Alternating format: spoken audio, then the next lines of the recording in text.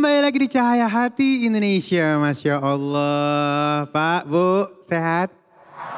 Masih semangat? Tak kenal maka tak sayang, bukan begitu bukan? Lupa saya tadi, dari majelis taklim mana ini? Cikarang Barat, Masya Allah. Next kita diundang ke masjid di sana ya. Amin ya rabbal alamin. Dan baik, kita masuk ke dalam tema kita yang selanjutnya. Ini agak menggelitik nih ya. Istri galak, suami tersiksa. Masya Allah. Bersama guru kita yang dimulakan Allah Subhanahu Wa Taala, Al-Ustaz Abdul Rahman Jailani. Allahumma salli ala Sayyidina Muhammad. Allahumma salli wa sallim wa barik alaih. Assalamualaikum warahmatullahi wabarakatuh. Waalaikumsalam warahmatullahi wabarakatuh. Bismillah walhamdulillah wassalatu wassalamu ala rasulillah wa ala alihi wa sahbihi wa man walah wa la hawla wa la quwwata illa billah amma ba'd. Puji dan syukur hanya untuk Allah. Salawat beserta salam untuk baginda kita Nabi besar Muhammad sallallahu alaihi wasallam. Begitu pula kepada para keluarga, sahabat, dan insya Allah untuk kita semua selaku umatnya. Mudah-mudahan dengan berkah selawat di alam dunia kita bisa pergi haji dan umroh. Agar bisa ziarah ke makam Rasulullah dan di akhirat kelak mendapatkan syafaatnya. Amin ya rabbal alamin.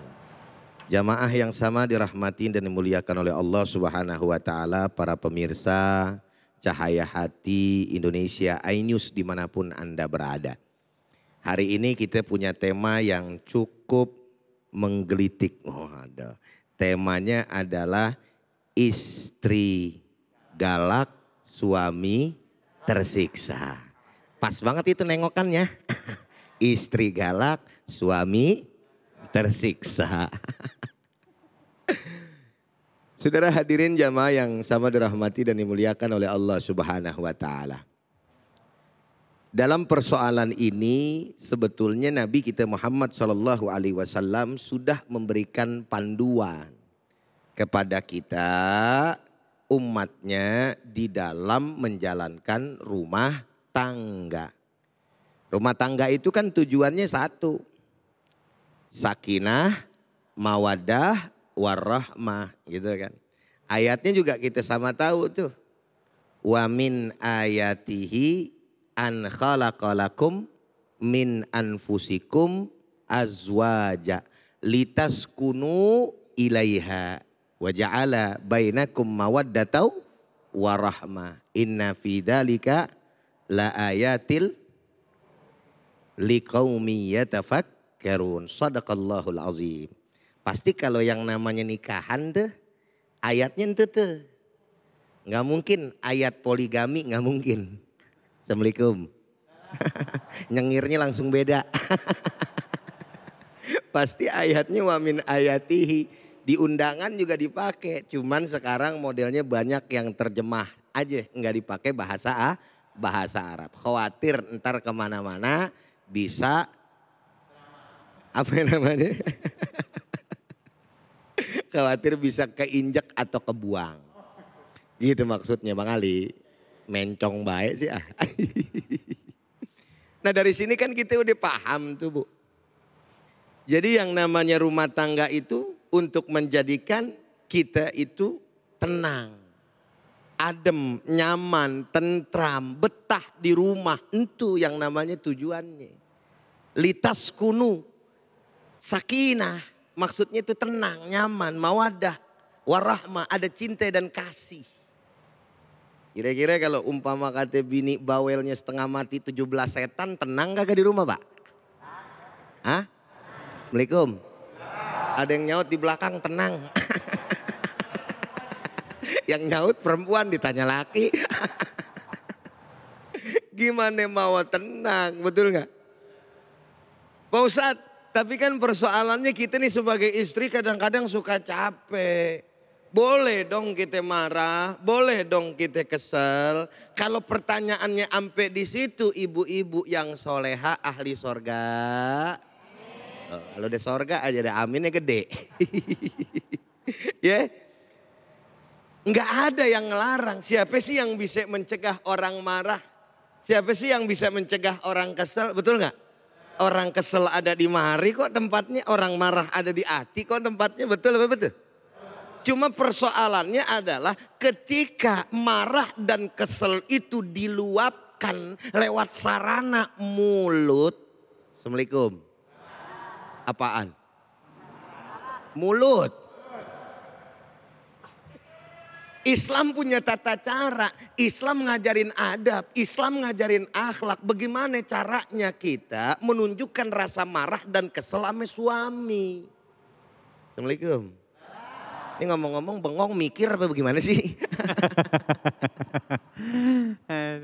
Kata ibu-ibu matanya Ustadz kemari melulu, lah emang bahasannya buat lu. Siapa suruh salah ngasih judul betul gak? Judulnya kan istri galak, masa saya iya, mari iya. melulu. Udah otomatis ke ibu-ibu, betul gak? Iya benar.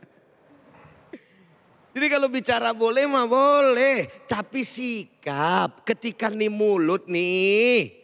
Kekontrol tuh apa enggak itu yang jadi masalah. Cakepnya istri, bagusnya perempuan, solehahnya seorang istri idaman tuh. Ketika dia marah, dia nunjukin nama cara-cara yang gak membuat suaminya sakit hati, tapi paham kalau istrinya lagi kesel. Assalamualaikum. Paham apa kagak ini? Bagaimana caranya Ustadz? Pan masing-masing punya cara, masing-masing paham bagaimana tabiat, masing-masing pasangan tahu bagaimana kepribadian lawan pasangannya. Ini kira-kira kalau misalkan gue, gue diemnya model kayak begini, laki gue paham apa kagak nih kalau gue lagi marah nih. Tuh. Yang penting kan nunjukin, betul nggak? Wah istri gue marah nih, istri gue ngambek nih. Nah suami gitu loh. Kalau udah paham, kudu bijaksana. Assalamualaikum. Sekarang lu gue incer. ya, yeah? Jadi kudu paham, kudu bijaksana. Bukan juga kemudian ngambek, marah, malah timbul maki-maki istri. Salah lagi baik. Walaupun memang kadang-kadang kita begono sebagai laki. Bener apa bener? Tuh ngaku sendiri kan. Ustadz bagaimana? Sama. namanya juga suami, ustadz makan modelnya doang, betul nggak? Kalau lagi marah juga sama. Tapi ini pelajaran, maksudnya siapa? Bukan hanya buat ente-ente orang jamaah, tapi buat ustadz sendiri juga. Karena kita manusia juga punya capek, betul apa betul? Maka mesti ada yang namanya balance, keseimbangan antara suami dan istri. Nabi kan juga ngajarin kalau ibarat kata istri yang lagi pegel, istri yang lagi yang lagi marah-marah, laki mesti kudu tahu kondisi sama keadaan, antepin baik dah kalau bahasa Betawi mah. Makanya kalau kita ngadu sama orang tua nih, nih saya aja kalau ngadu nih, Pak, ngapa bini saya begini banget, ya, Pak, kita makan pulang ceramah capek. Apa? Bini kita kagak ngerti banget. Bagaimana nih urusannya, Pak? Bapak saya bilang apa? Lah, lu ribet amat. Ngadepin perempuan mah ilmunya atu. Apaan tuh, Pak? Ilmu antep.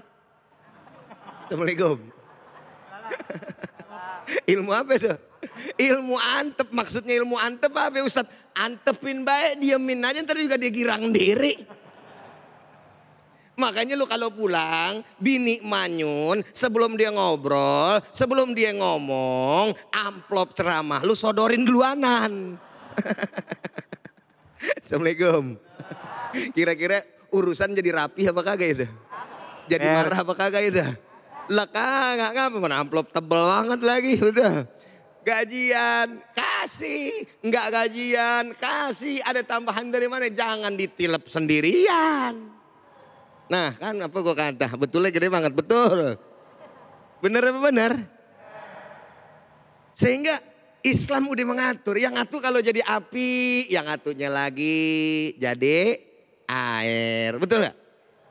Sehingga masing-masing bisa mengendalikan situasi dan kondisi di dalam rumah tangga tersebut. Sehingga pada akhirnya rumah tangga tetap adem, ayem, insya karena rumah tangga pasti ada aja.